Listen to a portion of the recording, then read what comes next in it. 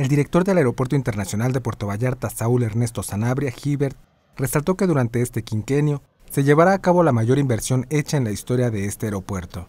Viene nuestra eh, eh, eh, mayor inversión que hemos tenido en la historia del aeropuerto de Vallarta. Para este nuevo quinquenio tenemos contemplado la construcción de un nuevo edificio terminal. Esto no quiere decir que el aeropuerto que tenemos ahorita se va a desechar, no. Al contrario, también se va a rehabilitar. Vamos a rehabilitar todos los baños, todos los pasillos, todos los locales comerciales. Vamos a ampliar los puntos de inspección. En fin, el caso es dar un mayor confort a todos los pasajeros. Le voy a referir concretamente a los últimos cinco años, que es este quinquenio que está por concluir en este próximo 2019 eh, la inversión ha ascendido a 360 millones de pesos.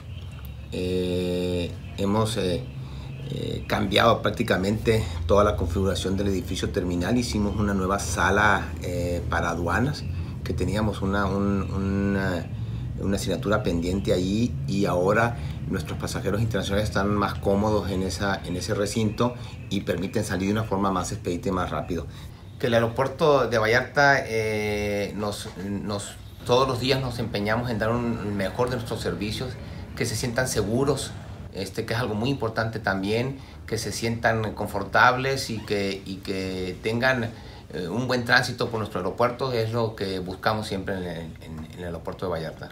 Con información e imágenes de Hugo Pescador, corresponsal en Jalisco, Notimex.